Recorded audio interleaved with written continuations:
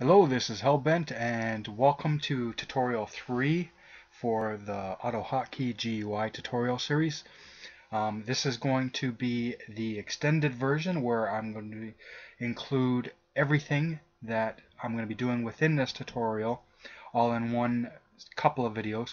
Um, if you're only looking for a very specific section within this, or a very specific topic within the, the edit box or edit field or whatever you want to call it. Um, I've also done, up to date, I've done eight mini tutorials for it and I have like, I don't know, about six or seven more to do.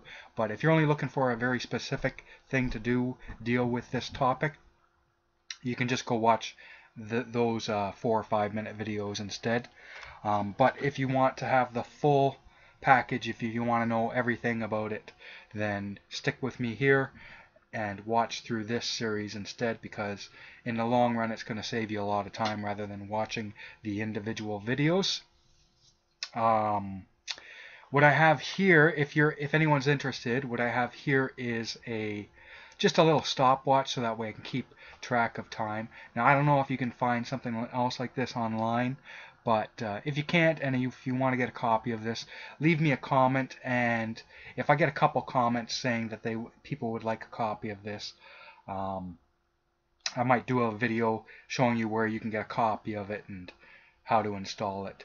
Um, in other words, I'm not going to bother, but I, I'm not going to be including a link in the description to it because I would have to do it for the next video and the next video and the next video and over and over and over again. So if you're interested in it, just leave a comment and if I get a couple people saying that they would like a copy of it, I'll I'll make a quick video, post it up, boom, and it's done. It's out of the way forever.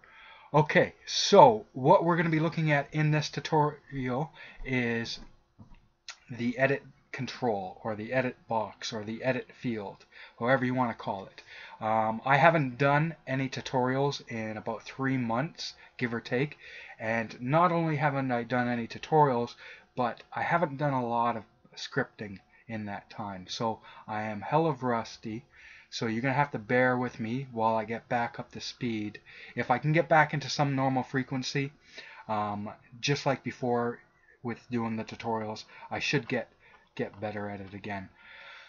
But like I said, because I am rusty, um, normally when I do, particularly when I do these long tutorials, um, I create a lesson plan and normally I don't have to refer to it too much, but here we go. Here's my lesson plan, right?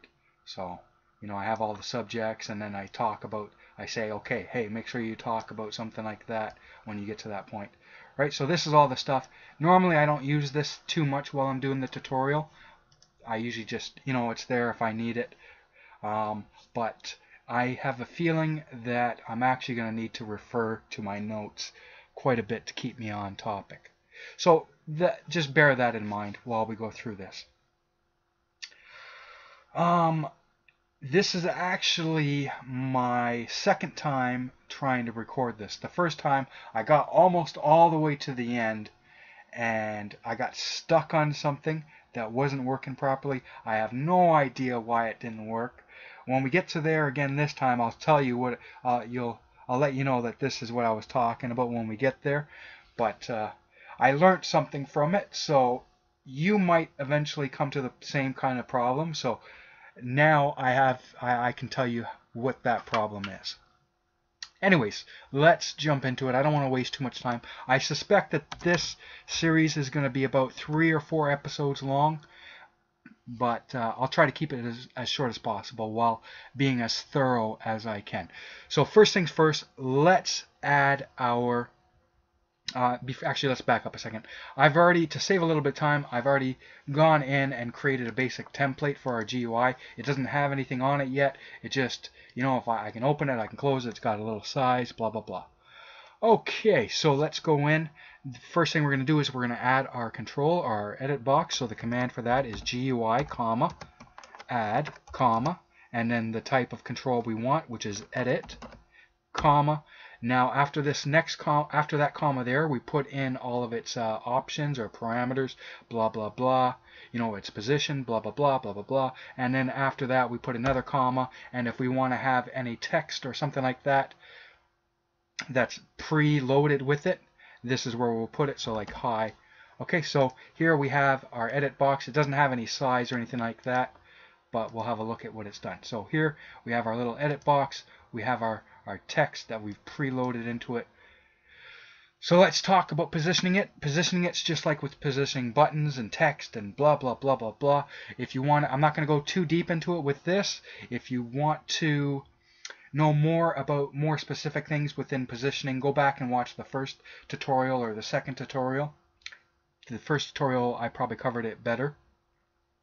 Um, and then as we go into more advanced things later on, you'll see how how we can incorporate. We'll, we will get back around to to some of these things that you might be missing if you just watch this. So first things first, we're going to need an X position within our our GUI. So let's pick 200. So this is our X axis from left to right. It starts at zero over here, and then it builds to whatever number over there. And then our y-axis works different than you might be used to. Uh, it starts at zero at the top and it increases as we go down. But normally you would have it increasing into negative numbers. With programming, it doesn't work that way. It increases into positive numbers. Our negative numbers are up, up, up, up. Right, so it's a little bit weird like that. It might you might get confused from time to time, but after a few times you do it, you'll you'll it'll be second nature. So y, I'm going to put 200 so now we have our edit box. It's going to be somewhere somewhere about there. Next, what we're going to do is we're going to change its width. So right now, whatever I can, it can adjust its width on its own by based on what I fill into it. But a better way of doing it is because we don't always know what's going to be going into it. The better way is to pre pre-size this to a specific thing so that way we can build all the all the rest of the controls around it right? We don't want it to be changing as we add things. So we're gonna we're gonna specify what its width is. We're gonna just pick 200. So its width is gonna be 200. With its height, we could we could put a height in here, but we're not going to because with the edit box, it's actually better if we don't adjust the height. Um, if you do want to adjust the height, I believe it is a minimum for, for the default uh, font size or for the text size, which is I think size 8. For that, it's you want the minimum height to be 13 or 15, maybe 15. I think it's 15. So if you have it less than 15, the your let some of your letters are going to get blocked off, so it'll it'll start squeezing in on it. You know, like they can't breathe anymore. They're going to suffocate. So if you're going to use a specific height, don't go below, I think it's 15. It could be 13. It's one or the other. It is either 13 for sure or it is 15 for sure. You can test it on your own to see what it is, but it's one of those two things guaranteed. Um, if you go below those, you're going to have some issues being it being difficult to read. So, like I said, it's best not to actually control the height like this and we'll get into that how we do it another way in a few minutes. Okay so here we go. Okay so and if we're not happy with that we can play around with our values until we are happy. Okay so that's it for placing it and putting it on you know changing its position. Next what we have is changing the font the color things like that. Okay so we have a couple of options here. For color for the color of our text, we can either put it individually per control. So in the options, we can say C for color, and then whatever color we want, and do it that way. So we'll test that out. And it's I know it's hard for you to see, but it is aqua. Um, there's only a few colors that you can use by word. What you can do instead, though, is you can go to look up uh, HTML color codes and you can do a color picker and right and then copy the hex code minus the the pound sign or number sign or hashtag, whatever you want to call it. I'm not here to judge. So we'll copy that code and we'll change the word of our color to that code. And then if we run it again, there we go. I know that that one is probably really hard for you to see, but it's like it's almost like a grayish color. But anyways, that's how you change the color inside. If you want to do it for multiple controls, like change the color for multiple controls, what you can do is outside of your control, you can type in GUI, comma, font, comma, and then you can put in that color. Now, any any um, control, so let's say if I have any text controls or more edit controls, all of them that are following this line here, so anything that's below it, if I have multiple controls, until I change this back to something else, all of them are going to have whatever I change in here. So bear that in mind. The way you can do it to restore it back to the default. So let's say if I have if I have six controls and I only want three of them to have this color. What I would what I can do and then everything else let's say everything else I want to be back to default. What I can do is after I'm after the last control, so I have three controls that are going to have that that color. After that last control, I can do it again GUI font and then nothing else and anything that follows this line here will all be the default, the normal default color and size and everything. Alright, so that's color. Um, we can also change its size, the size of our text. So right now, its default is somewhere around 8 to 10. I don't know exactly what it is, but it's you know it's got a default number. It's 8 to 10. Um, we're going to change it to 22. Let's have a look. So it's S for size and then the size that we want it. So as you can see it's much bigger now. Um, we can also have it underlined.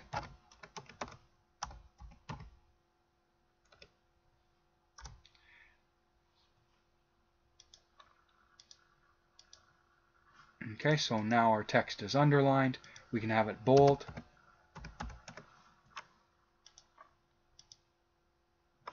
Alright, so now it's a little bit bolder etc., etc. The normal things that you can do with a, a word processor or word editor or uh, text editor, blah, blah, blah, blah, blah. Um, and then after that, after those options, if we put another comma, we can actually change the typeface. So let's see.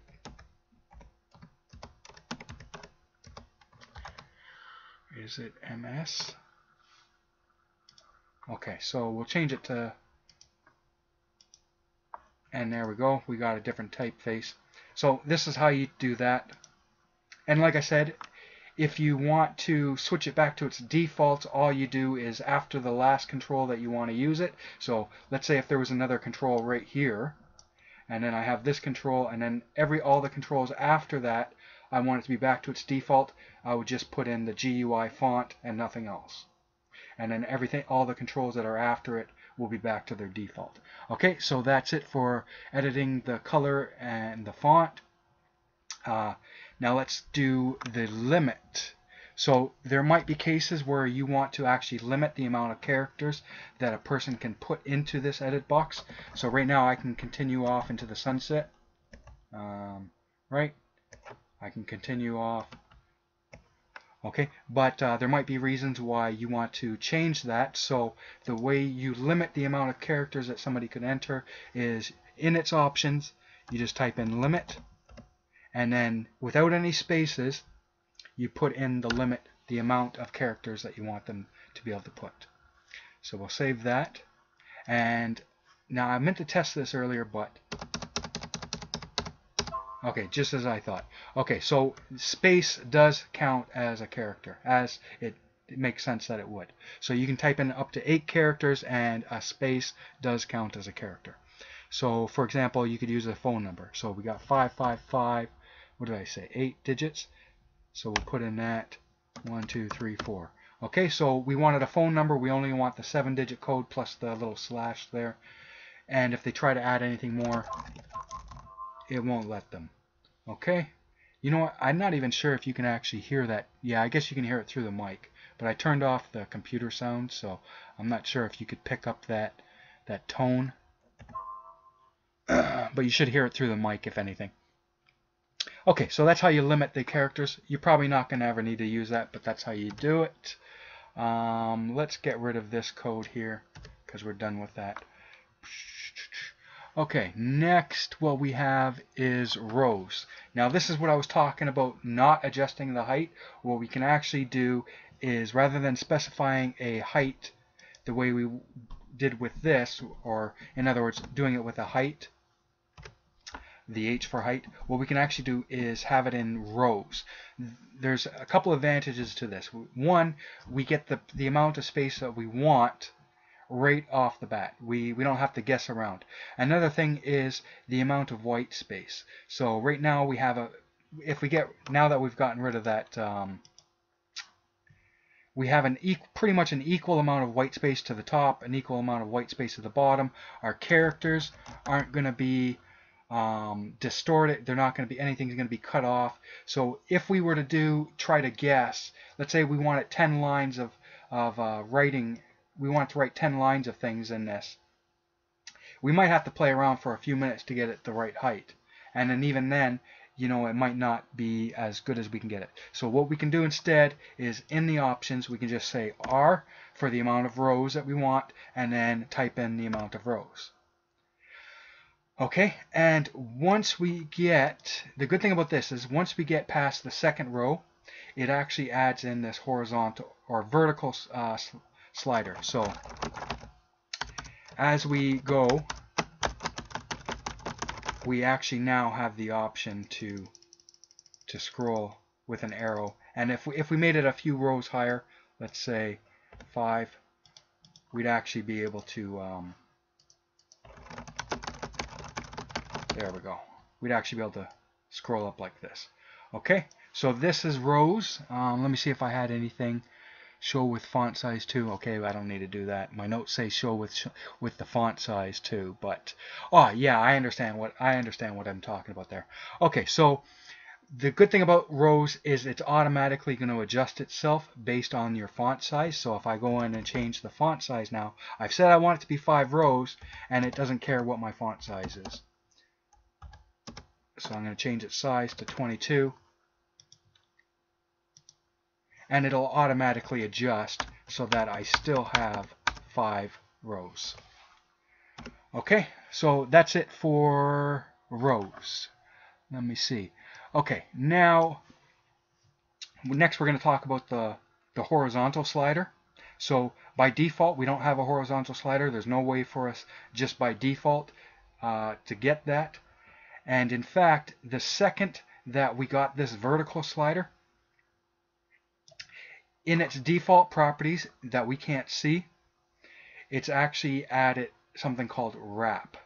Now what wrap does is because we have this vertical slider, as soon as our text gets to the edge, rather than it continuing off into the sunset, what it's actually going to do is drop down to the next line. So if I, right, and nothing goes off over to the right. There might be a reason why, even without the vertical slider, I mean the horizontal slider, that you might want to go off to the side. Now that's I think that's bad programming, but there might be a reason that you might want it to do that. So to do to accomplish that, all you have to do is just turn off the wrap feature, and the way you do that is you type in minus and then wrap, and now your text can actually go off to the right. But in order for you to actually read that, you would actually have to highlight your thing and scroll over, and that's going to get annoying real fast. The better way to do that is forget about this typing in this because the next command that we're going to type in has that minus wrap built into its default. So all we have to do for this is we just type in, in our options for our edit, we type H scroll. H scroll gives us our horizontal slider. And there we go. Now we can go off to this to the right and we can scroll between it. Alright, and we can drop down to a new line. Okay, so that's the horizontal scroll. Let me see, we're up to 19, 20 minutes. Okay, I'm going to cut this video here. Like I said, it's going to be a couple parts because I, I don't like watching tutorials that are like a, an hour long because I have to go do other things, blah, blah, blah. And when I come back to it, I'll lose my place. So I'd rather watch through a video, get to the end of it, and then if I have time to watch the next video, I'll watch the next video. If I don't, I'll come back and watch it the next day. Alright, so that is it for this. I will see you on the next one. And I'm going to be filming it right now. So have a good day. See you on the next one.